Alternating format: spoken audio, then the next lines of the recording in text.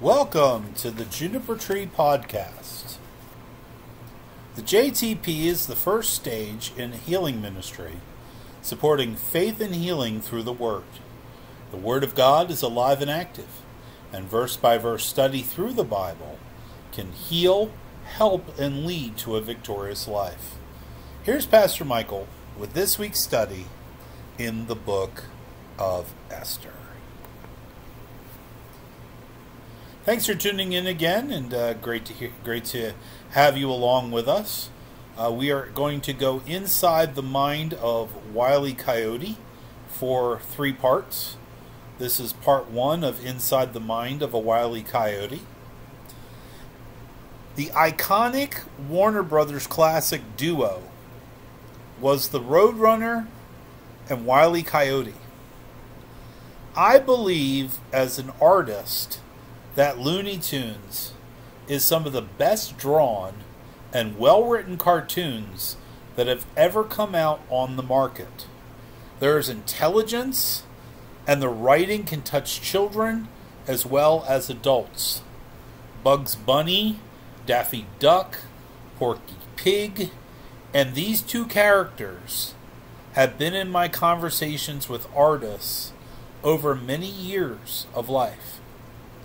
I spent four years of my life working with other artists in a store in New Jersey, and we spent a great deal of our time talking about Looney Tunes. The premise of the Roadrunner cartoons is that, of course, Roadrunners are fast. The Roadrunner can run in excess of speeds of 20 miles per hour, and they don't run in a straight line. The cartoon follows Wiley Coyote in his crazy schemes to capture and kill the Roadrunner. The funny part is, Wiley Coyote purchases items of capture from a store called Acme. Acme sells anything from rockets to spring loaded catapults, anvils, and such. It's very funny to watch him use these items, but they always blow up in his face. They also had some funny fictional products like do it yourself tornadoes, dehydrated boulders, earthquake pills. Why wait?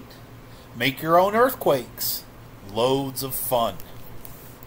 All the items usually ended Wiley Coyote and him falling over a cliff, exploding, or being crushed. The Roadrunner would always escape the wiles of the Wiley Coyote. There are also people out there with this same mindset. They have the mindset just like Wiley Coyote, they attempt to attack God's chosen people.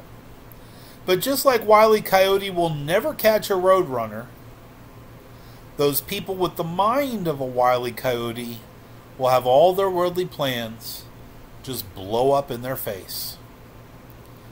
Now we get to the major point of this drama in Esther.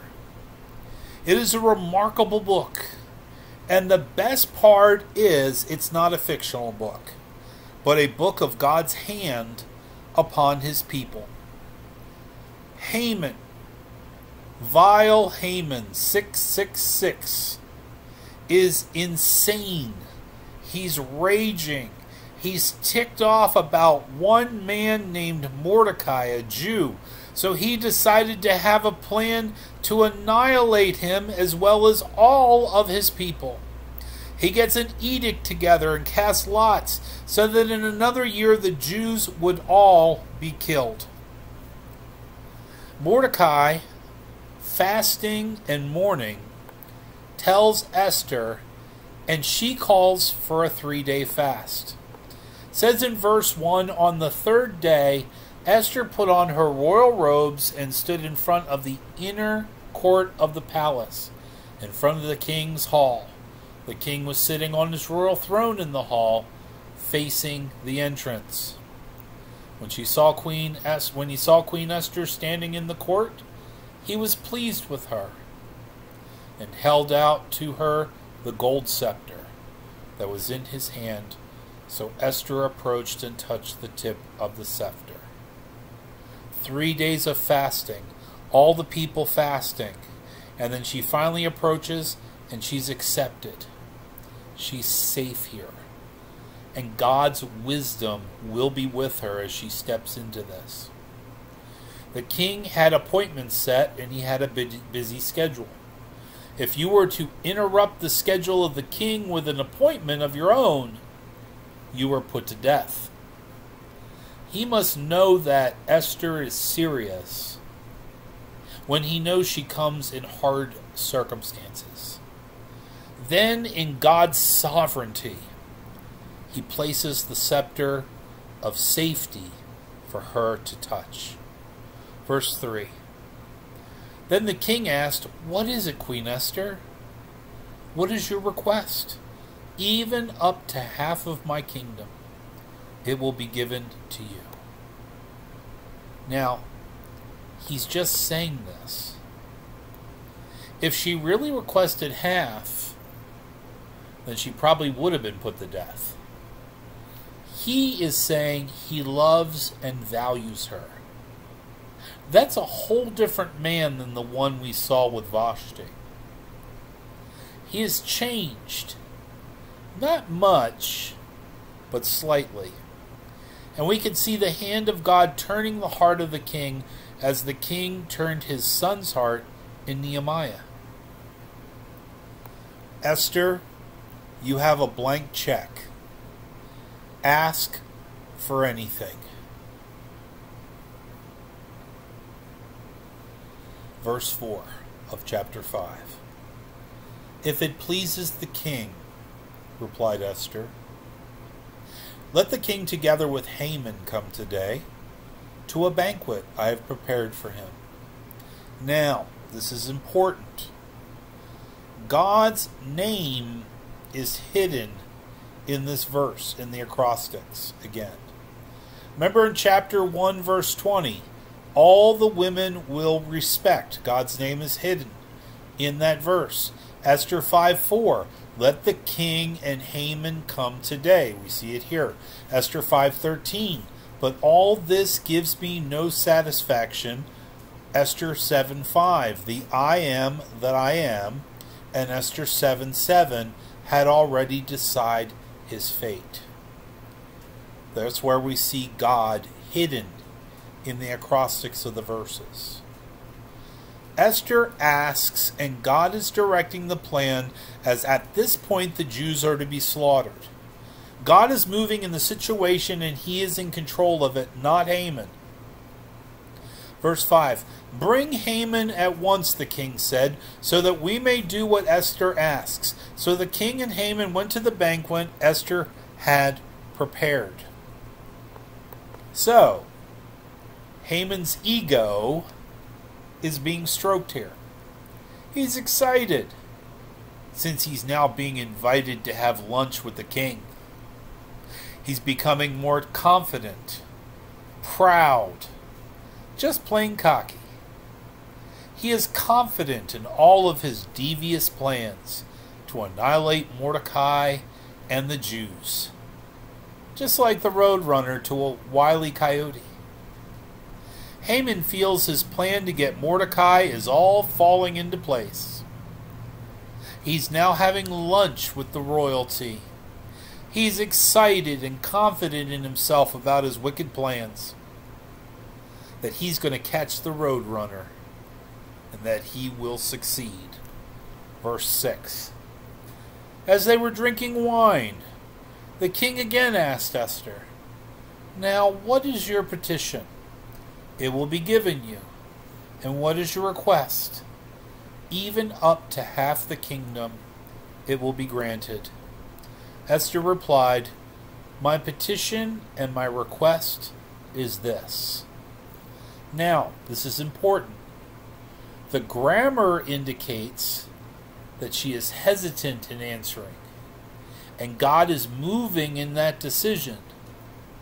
She is about to request but something or someone, God's Spirit, stops her. Maybe the Holy Spirit knew Xerxes wasn't ready to hear it. There's some dynamic here that stops her. The Holy Spirit holds her from requesting which is pretty neat here. Now, verse 8. If the king regards me with favor, and if it pleases the king to grant my petition and fulfill my request, let the king and Haman come tomorrow to the banquet. I will prepare for them. Then I will answer the king's question. Now, a lot's going to happen in these 24 hours.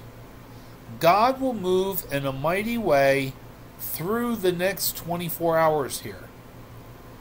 It will be an interesting scene, as many events will take place that God knows have to before Esther does her request. In 24 hours, Haman's going to make a gallows to hang Mordecai on. Xerxes won't sleep the night before. Xerxes will make some interesting decisions. Wisdom from above and being prayerful about those decisions is something very wise to understand for the believer. There are times when decisions should be bathed in prayer and not decided right away. Verse 9 says Haman went out that day happy and in high spirits. Wily Coyote. But when he saw Mordecai at the king's gate and observed that he neither rose nor showed fear in his presence, he was filled with rage against Mordecai. Which this guy is never happy. And I've seen many people over the years miss out with this Haman type attitude. Vile Haman 666. They have so much and they're blessed with so many things by God, then they see one person or one problem and engulfs them to the point of unhappiness and anger. Haman has a family, he has wealth, he has power, but is mad over one man. Haman has one man steal his joy. He can't have any happiness unless Mordecai is destroyed. Mordecai is the roadrunner to Wily Coyote, as Haman is the Wily Coyote, and he will not be happy until he gets Mordecai. He is one of the wealthiest, powerful men in the world, ten sons, and a family, yet his elevator won't reach the top floor because of one Jewish man. Wily Coyote was always fixed with getting the Roadrunner. Mordecai, Haman is fixated about getting him. Verse 10. Nevertheless, Haman restrained himself and went home, calling together his friends and Zeresh his wife. Haman boasted to them about his vast wealth his many sons, and all the ways the king had honored him, and how he had elevated him above all other nobles and officials. Haman brings over all his friends to get an ego boost. He boasted and bragged about himself to all his friends. He talked about all he had, all his great family, how he's better than all the other officials, how he, like Wily Coyote, is a genius. Verse 12 and that's not all, Haman added. I'm the only person Queen Esther invited to accompany the king to the banquet she gave, and she has invited me along with the king tomorrow. Tomorrow, I am also invited to a party with the king because I am so great. Verse 13. Here we go. We're going with another acrostic again. Ready? But all this gives me no satisfaction as long as I see that Jew, Mordecai, sitting at the king's gate. So his boasting and bragging gets messed up again, and we see the third acrostic in this story. The third time God is hidden in the verse. Esther 120, all the women will respect. Esther 5:4, let the king and Haman come today. Esther 5:13, but all this gives me no satisfaction. Esther 7:5, I, the I am that I am. Esther 7:7, he already decide his fate. Haman is not resting because God would not have him rest and be happy in his boasting. God is working in Haman, and he won't rest until Mordecai is exterminated and all of his people with him. I can't rest as long as that roadrunner is running all over the desert and gives me absolutely no respect. Because to Wile Coyote, it's not just about catching the roadrunner, but he also disrespects Wile Coyote constantly, and that makes him fixated on the bird. I have everything. Wealth, power, the king's ear, a great family, but that one Israelite, Mordecai, is the only one who disrespects me, and so I am fixated on getting him removed from my life, and I will destroy him. Verse 14 His wife Zeresh and all his friends said to him, Have a pole set up, reaching to the height of fifty cubits. Ask the king in the morning to have Mordecai impaled on it. Then go with the king to the banquet and enjoy yourself. This suggestion delighted Haman, and he had the pole set up. This is a 75 to 80 foot high in your backyard. The whole town could see what you did. What a great idea! It's almost an Acme Wile Coyote idea. I will impale Mordecai. That's what it was. It wasn't really a gallows. A lot of people thought it was a gallows, but it wasn't. The Persians, a lot of people don't realize, invented crucifixion. They would really disgrace people by doing this, and the Greeks didn't adopt the Greeks didn't adopt this, but of course we know the Romans did because Jesus hung on the cross. Peter hung, later hung on the cross as well as many of the apostles. 80 feet high, where everyone can see it. Haman is wants to show everybody this guy, he disrespects me. So Haman's plan will continue next week in part two of the Sovereignty series, Inside the Mind of a Wily Coyote, part two. And there are two things we can take of this if we as we close today. Number one, if we are working out of God's plan in our lives and in that intend to harm someone who is, we need to realize that God works sovereignly over our circumstances. Even Christians can get worldly in our thinking at times, and we need to keep those feelings in check and in prayer. Number two, maybe there has been a Haman in your past, or even one in the present working against you in your life. There will always be jealous people in our lives, especially when they see God sovereignly moving to bless you in tough circumstances. When these wily coyotes raise up to devour us, then it's our duty as believers to be like Mordecai. Pray and fast. Allow God to work sovereignly in the plan. We are God's people, and He desires to move in our lives. And if we surrender in prayer and sacrifice, then He can have a hand in our situations working behind the scenes preparing what was meant for evil against you to be turned for good towards you because He is an awesome God. That's all, folks. Let's pray. Father God, I thank you, Lord, that whenever wily coyotes come against us, that, Father, we can escape like the roadrunner. That, Lord, you allow us to slip through that you sovereignly will take care of us. And Lord, I pray your sovereignty over those who are listening today. I ask, Lord, that you would sovereignly move in their lives and you would help them, Lord, with whatever they might be going through. Father, I thank you. I praise you for who you are, that you are a mighty and awesome God. Thank you, Father, for protecting us, for watching over us, and for keeping us safe. In Jesus' name, amen. We hope you enjoyed this episode of the JTP, the Juniper Tree Podcast. If you did, please like and subscribe. Thank you, and may God bring whole healing through his holiness.